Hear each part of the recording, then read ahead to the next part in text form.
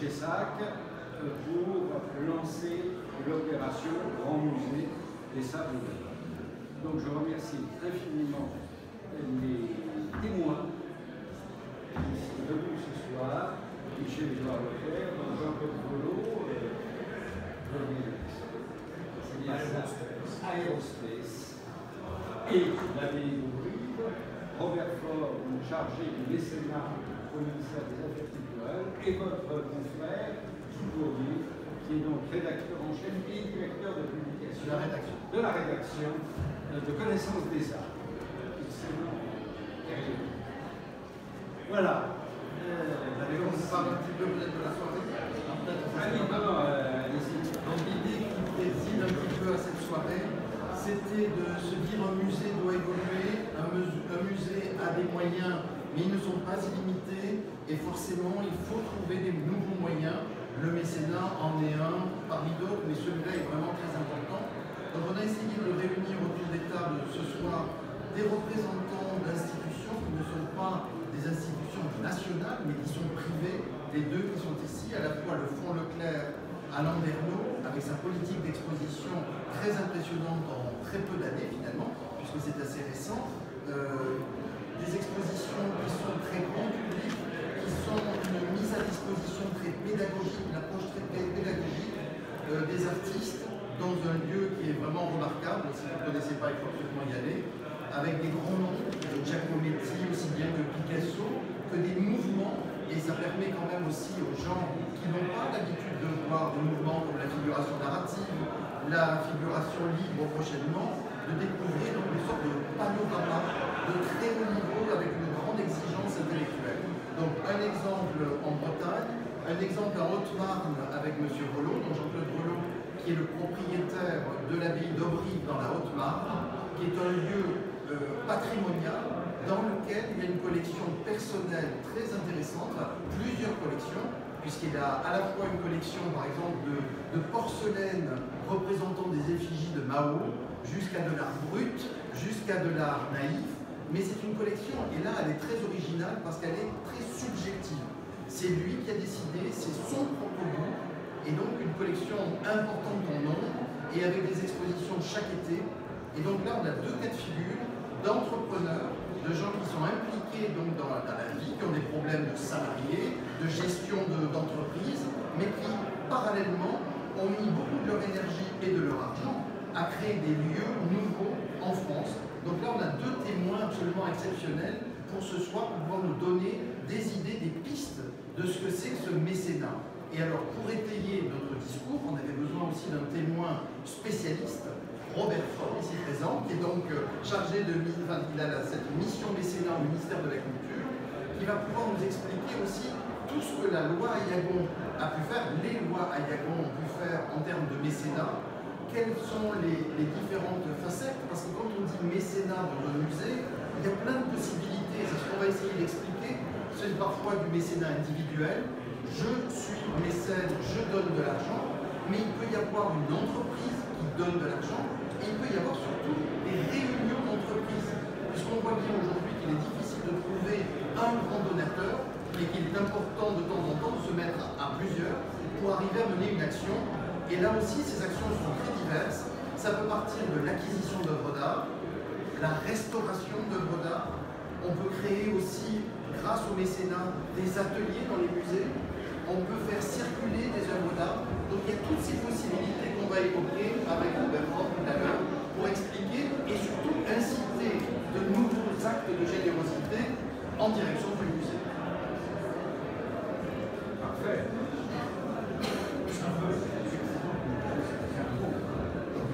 J'ai répondu à l'invitation euh, très sympathique euh, de, ce, musée qui est formidable. Euh, je suis en fait aussi parce que je connais bien euh, les artistes qui sont venus ici à l'invitation de ce musée, de Gaël. Euh, je suis un fan de Kilofer, de Lakivé, euh, de, beaucoup d'artistes qui ont été exposés ici ces 4 ou 5 dernières années.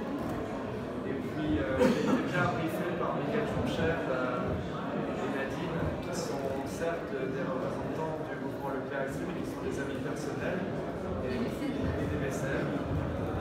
qui sont d'ailleurs mécènes à Landerneau et mécènes ici. Et, donc je suis venu à la fois parce que ça est magnifique, je ne le connais pas dans sa configuration actuelle, je suis venu aussi pour soutenir ce projet. C'est vrai qu'à Landerneau, on a, on eu une certaine réussite et je, ne l'imaginais pas de, cette, ampleur. Hein. On, se voit à chaque exposition à Landerneau, mais c'est une histoire qui a démarré il y a, six ans.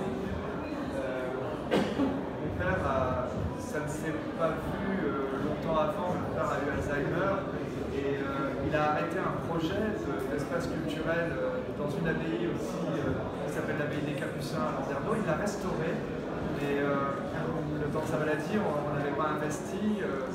et puis moi j'ai pensé que c'était quand même vachement bien pour proposer d'abord aux, chefs d'entreprise qui sont passés dans le mouvement Leclerc, en active ou, en retraite, de renvoyer un peu la balle à la ville qui avait fait naître la marque. Et puis on a élargi le regroupement. Il y a beaucoup d'entreprises régionales qui sont venues. tous ceux qui ont participé d'ailleurs à la rénovation des bâtiments, tout ça sont, sont venus et sont devenus mécènes. on a des grands mécènes qu'on est allé chercher pour des expos un peu spectaculaires pour accroître l'activité de Landerneau. Et, au fond, c'est vrai qu'il y a de l'argent derrière, pas tant que ça finalement si on regarde par rapport à ce que mettent par ailleurs les pouvoirs publics, les collectivités régionales et locales. À côté, à Brest, à Quimper, à Rennes, c'est beaucoup plus modeste, mais avec un vrai enthousiasme des entrepreneurs qu'on associe à toutes les décisions, même artistiques, hein, qui rencontrent les artistes, avec leurs cadres qui ont envie d'être de la narration. On a un vrai, je dirais, retour sur cette philanthropie engagée. Et, au fond, je suis venu témoigner ici à la fois aux élus qu'il faut faire ce genre de projet et ce projet, parce que je trouve qu'ici c'est vraiment un site extraordinaire. il y a, à Landerneau, on n'est pas au bord de la mer, c'est pas une ville de destination. Et la lumière été faite par les grandes villes d'à côté, un très beau musée des Beaux-Arts à Quimper, même un musée d'art contemporain à Brest, le Passage. Mais, on voit ici le potentiel qu'il y a. et puis, c'est une région où il y a de l'énergie, il y a plein d'initiatives autour du patrimoine, de l'histoire. Et donc, associer l'activité économique et, l'activité sociale, l'activité associative autour d'un lieu, c'est un projet magnifique. Et à, l'heure où, chacune de nos régions se définit plutôt contre ou a tendance à se replier en se, définition, en se définissant plutôt contre, contre Paris, contre l'Europe, contre l'État, un phénomène catalan, etc.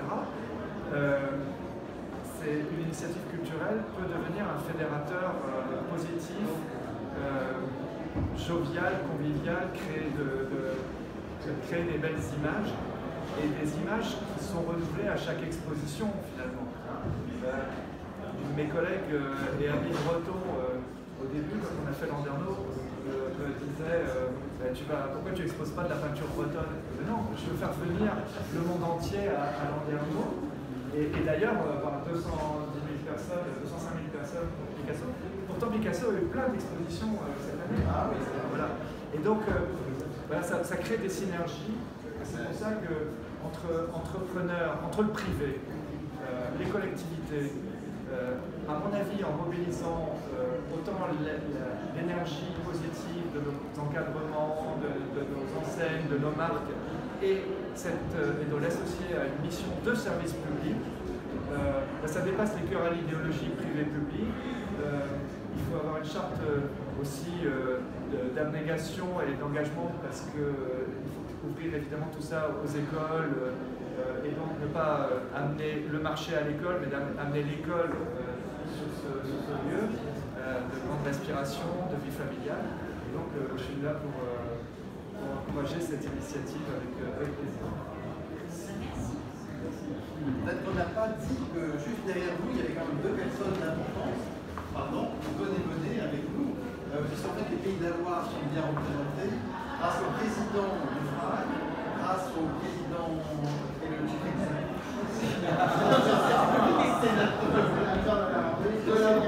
du conseil régional. Très important pour nous, puisqu'en fait, vous savez qu'il y a un grand projet maintenant à la ville de Fontevraud, avec la, la, la donation Clickman, enfin la collection Clickman qui va être installée prochainement. Donc là aussi, ce seront des témoins invités qui viendront renforcer le privé, puisqu'on a deux privés, on a deux quasiment publics, qui vont prouver là aussi les interactions. Et ce que n'a pas dit euh, notre ami Leclerc, c'est de dire que dans le lien privé-public, lui le fait tout le temps dans ses expositions, parce que les sources, les œuvres, viennent de ses collections souvent publiques. Quand vous travaillez avec la Fondation MAC, quand vous travaillez avec la Fondation Giacometti, on n'est pas dans le domaine du privé, on est déjà dans le semi-public, voire public. Et donc là, ça montre bien les synergies qui s'engagent.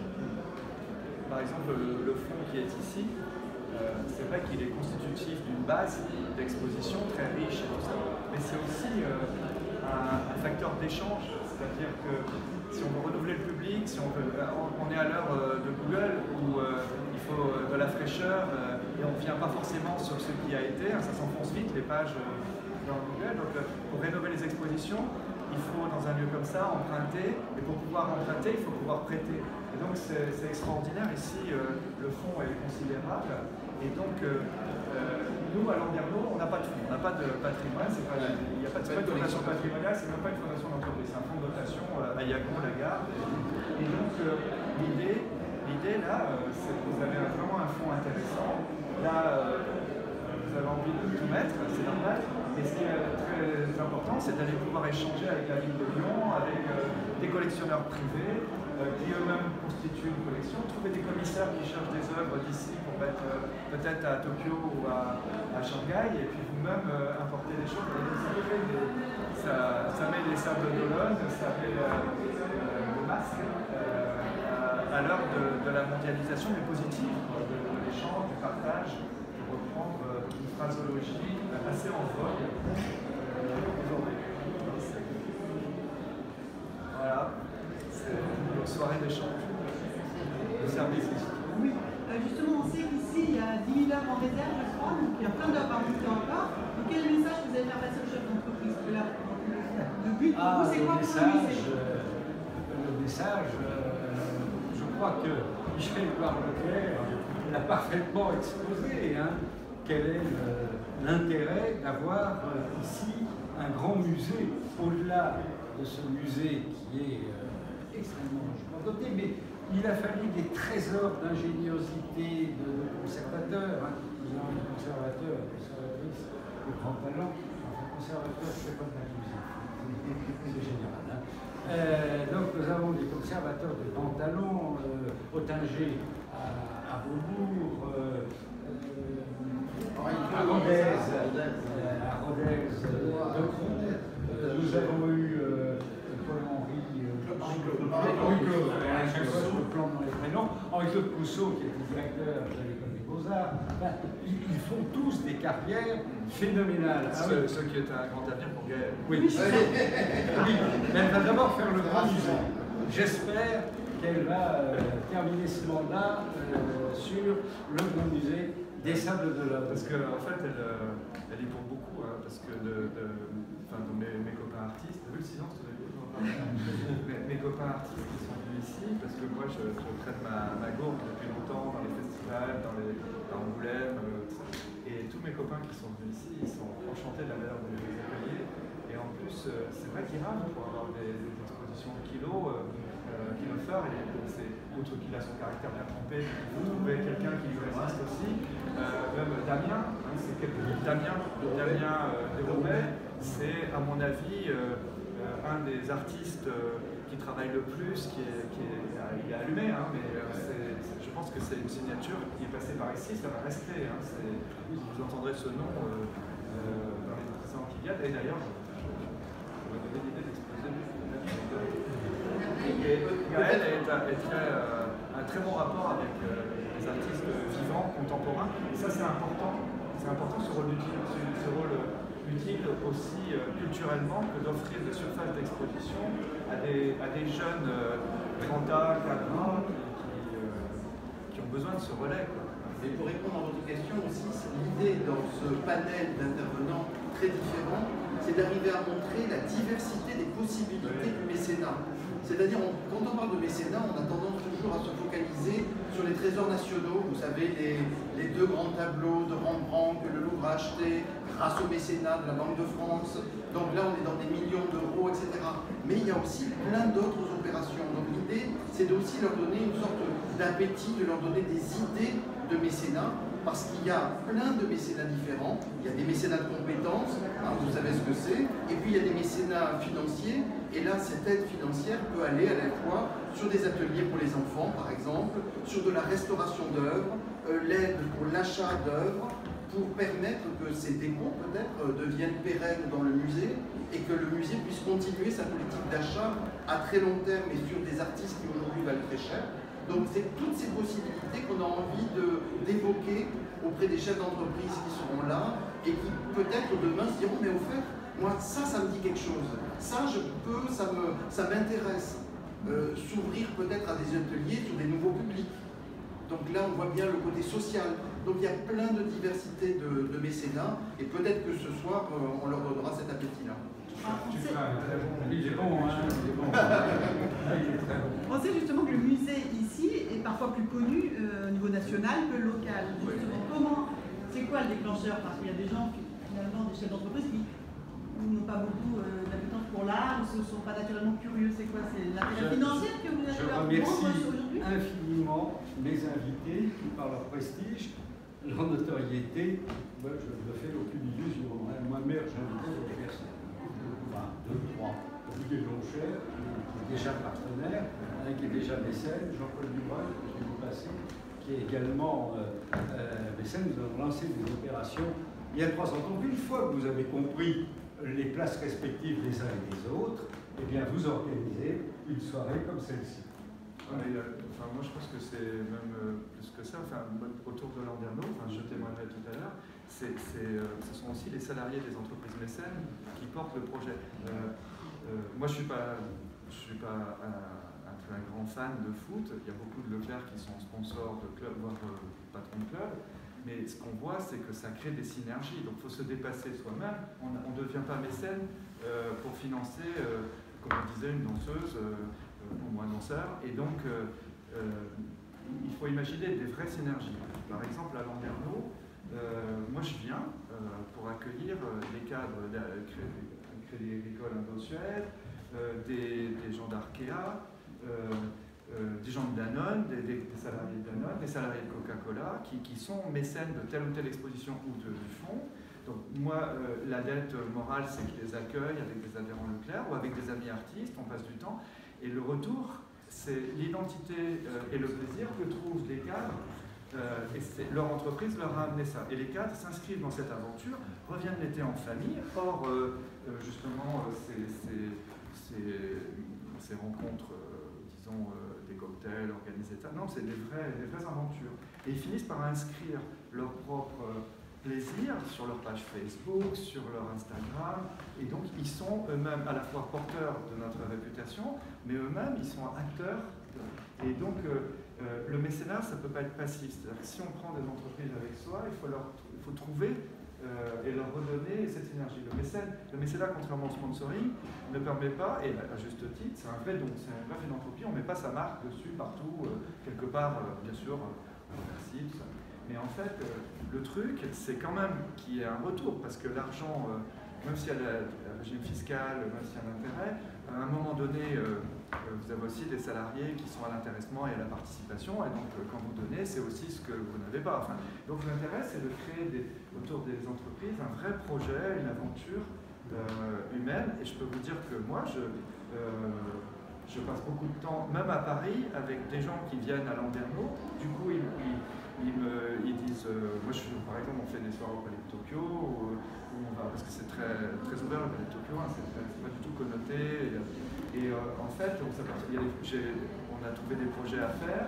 On prend maintenant des commissaires euh, plus jeunes, vous allez voir dans les prochaines expositions. Euh, voilà, c'est ça qui se crée. Et après, il se crée un réseau aussi. Pour les Sables de devenir un phare tout seul, ok, c'est une chose pour les retours. Ce qui est extraordinaire, c'est de faire venir, c'est d'inscrire les Sables de dans une carte, un repère, et aussi qui transcende les images habituel régional et, qui ouvre l'image des sables. Enfin, c'est comme ça que je le vois. Enfin, c'est ce qu'on a fait à Landerneau. Et honnêtement, c'est pas comme ça que j'ai commencé. Hein. On a appris. toi, tu es venu dès le départ. Première exposition. Première exposition. Et, donc ça, j'aimerais le faire passer et soutenir ce projet comme ça. Et, et, en fait, le rôle des conservateurs est très important. C'est eux qui reçoivent, c'est qui, il n'y a pas de il n'y a pas de ligne uniforme, mais il, il faut créer un appétit à chaque. Pardon, je parle trop. Alors, Jean-Claude Volo, euh, je réponds à votre question. Oui. Pourquoi le, la ville de Sainte-Croix est connue ailleurs qu'ici? C'est parce qu'il y a une ligne qui a été faite notamment par Benoît de Croix, Benoît de Croix que j'ai très bien connu, qui fait que pas à pas, ben, il y a eu une spécificité ici, notamment autour de Chissac, hein, et qui fait que par la presse nationale euh, artistique, évidemment, il y a eu une diffusion, et on connaît tous en France ce musée. Mais ceux de la ligne qui a été défendue, c'est pour ça aussi, moi je vous conseille fortement ici de conserver une ligne, parce que si vous allez tout azimut, un jour les gens vont s'y perdre, ils ne vont plus vous reconnaître. Et donc c'est pour ça que euh, ça répond, et ce qui n'est pas forcément le désir de la population locale, d'où l'activité qu'il faut développer auprès des enfants, auprès des adultes, auprès de tout le monde, pour que la population locale s'approprie ce site-là. Vous voyez, ça c'est important.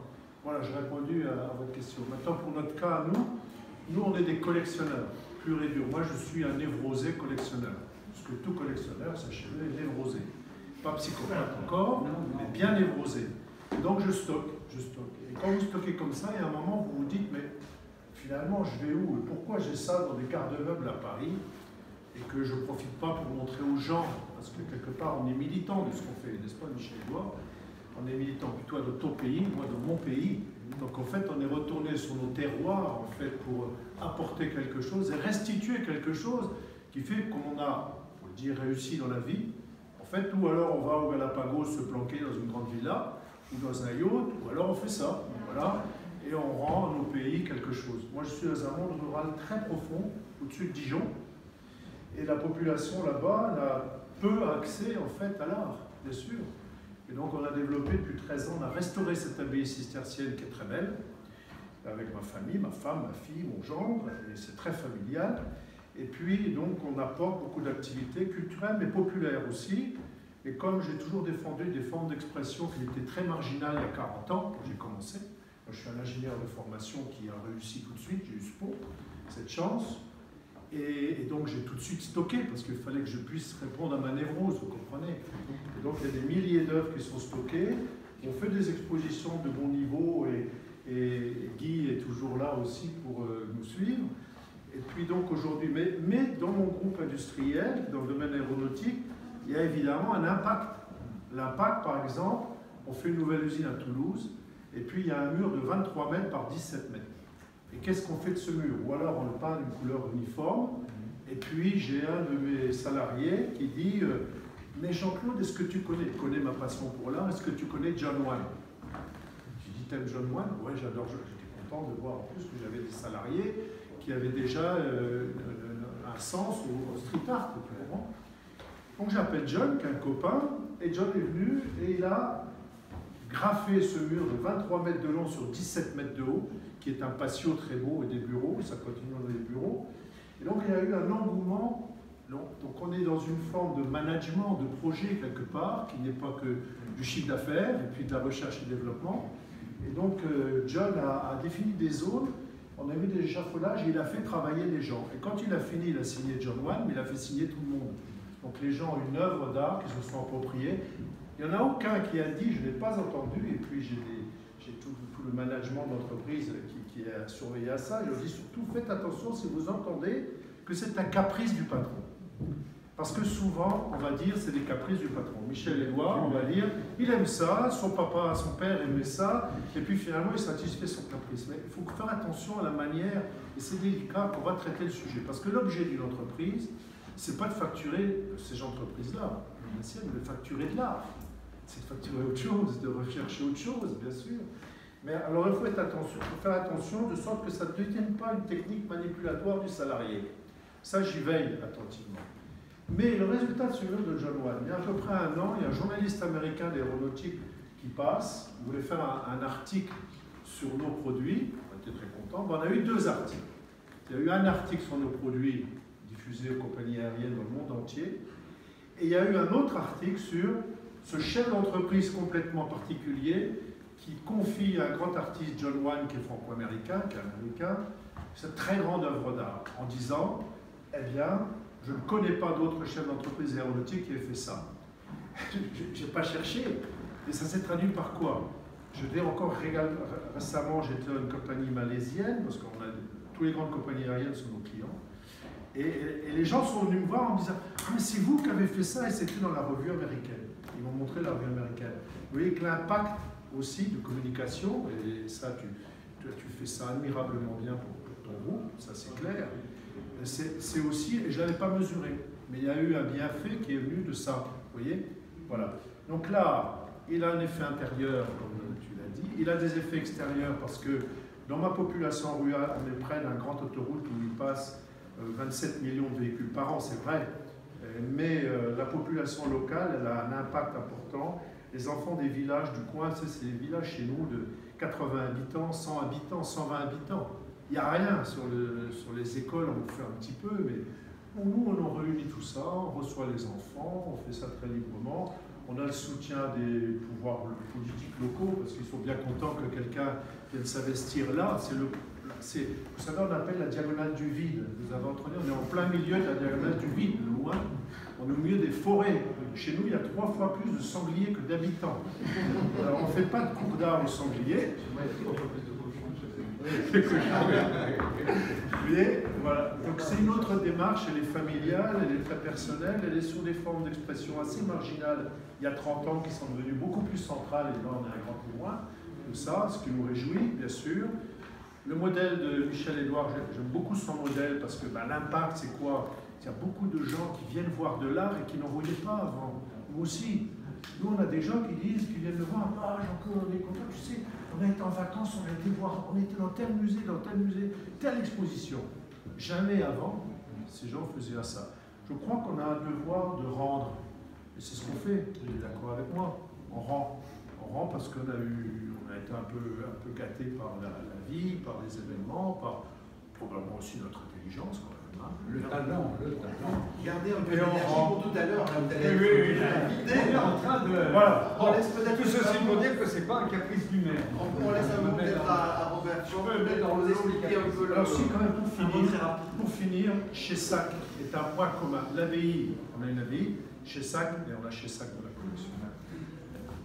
Moi, je, dirais. Euh, poste que j'occupe au ministère de la Culture. Et après ces témoignages qui euh, parce que je crois que vous avez admirablement bien parlé du, du, mécénat, ce que ça représente un chef d'entreprise et pour une entreprise tout entière. Euh, c'est que la loi mécénat, en fait, elle a débloqué quelque chose euh, dans les rapports notamment entre les pouvoirs publics et la société civile. c'est pas simplement de l'argent, le mécénat. Ça peut être, effectivement, ça peut prendre une forme autre, le mécénat de compétences, le de nature. C'est, euh, le mécénat, c'est une rencontre et c'est un partenariat. Ça, c'est vraiment très important. Et euh, depuis 2003, euh, ce qu'on peut constater, c'est que d'une part, il y a un développement considérable du mécénat d'entreprise. il y a 60 000 entreprises aujourd'hui qui utilisent la législation. Elles étaient environ 2000 avant 2003, donc c'est un mouvement considérable. Il y a 6 millions de foyers fiscaux qui font des dons, c'est énorme. Ça a un coût pour l'État, parce que le mécénat, c'est de la dépense fiscale, et c'est aussi de l'impôt choisi. C'est ça qu'il faut considérer du point de vue, je dirais, de mécène potentiel. Et en fait, ce que ça, ça a débloqué beaucoup de choses, et euh, un rapprochement entre euh, le monde des entreprises, le monde des fondations euh, et les pouvoirs publics sur les grands enjeux de société. Euh, je pense euh, notamment ici ce soir, euh, a la sauvegarde du patrimoine, bien sûr, mais il y a l'accès à la culture, l'éducation artistique et culturelle. quand, on, est une entreprise, qu'on fait du mécénat, on amène non seulement des moyens à un musée, à un lieu d'exposition, mais on lui amène un public. Et à ce public, on apporte le contact avec l'art. Donc ça, c'est ce que vous avez dit, et c'est tout à fait, essentiel. mais sur ces, grands enjeux de société, qui sont le décloisonnement, l'accès à la l'égalité, les chances, etc. il est certain que c'est Autrefois, c'était considéré un peu comme la responsabilité de l'État, hein, tout ça, et des collectivités publiques, et que maintenant, davantage, la société civile s'engage aux côtés des pouvoirs publics. Alors, ce n'est pas uniquement des moyens, c'est aussi de l'expertise, c'est des compétences, parce que les, entreprises, elles, connaissent euh, leur environnement euh, humain, leur environnement social, et que, euh, aussi bien finalement que nous dans, dans, le ministère. Et donc, il faut la conjugaison de ces regards, la conjugaison de ces moyens pour faire avancer les choses. Voilà ce que je vais il n'y a plus de débat. Je dirais juste un, petit mot pour la création. Il est important que les chefs d'entreprise vendéens réalisent à quel point il y a eu un grand créateur en Vendée de dimension internationale. Parce que ce que disait très bien Michel-Édouard Leclerc, c'est qu'on a déjà demandé chez SAC en échange des Midnold. Midnold, c'est un des plus grands artistes allemands, donc il est important que les créatifs, on ne fait pas d'entreprise sans être créatif. Les créatifs réalisent ce qu'il y a chez eux, parce que sinon, ils auraient l'air, entre guillemets, bêtes. Donc, il est important que le monde économique s'approprie l'histoire de chez SAC, s'approprie l'importance de chez SAC, et quelque part, maintenant, au stade où on en, est, c'est-à-dire que l'histoire de chez SAC est sortie de l'art contemporain pour rentrer dans l'histoire de l'art moderne, il faut qu'il prenne la place qu'il mérite au niveau du monde artistique et au niveau du monde entier. Dans une génération d'artistes, n'y a pas plus de 25 artistes qui vont franchir le monde. Chez fait partie de cela. Il n'y a pas eu d'ambition de la part ni de chez bien évidemment, et encore moins de sa famille, de porter l'œuvre au-delà des frontières. La seule ambition que l'on reconnaît aujourd'hui, c'est la substantifique moelle de l'œuvre qui, à elle seule, parle dans le monde entier. Donc il est logique que quelque part, le monde économique s'engage à soutenir une œuvre qui doit avoir une reconnaissance mondiale. Et je crois que c'est le rôle du chef d'entreprise de participer, de regarder, parce que vous savez, moi je, viens d'un métier de biens de consommation. Si j'attendais le génie de mon bureau d'études pour faire le produit qui va euh, booster mon entreprise, euh, dans la Vendée rurale que j'adore, j'ai aucune chance de. C'est unique de trouver une force créative aussi importante que celle de chez SAC dans un contexte comme celui que l'on a connu en Vendée dans la période où il a vécu. Et notre enjeu, c'est pas d'attendre que les Allemands nous le réclament, il faut qu'on sache aussi que ça existe. Je voudrais que tu rappelles que Chessac est quand même bourguignon d'origine. Hein. vous prenez Chessac, est né chez moi. Hein. J'ai le temps d'arrêter.